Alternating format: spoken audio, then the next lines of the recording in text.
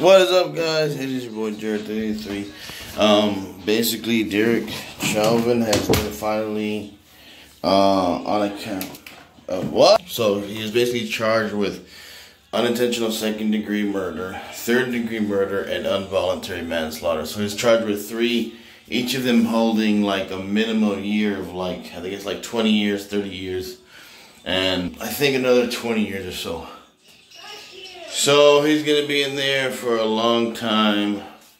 And I think he's already kind of an older guy, so I don't think he's going to be ever getting out in the free world. So let me know what you guys think in the comments below, man. This just happened today. Um, yeah, so a lot of people have been anticipating this trial and everything. So let me guys and let me know what you guys think in the comments below.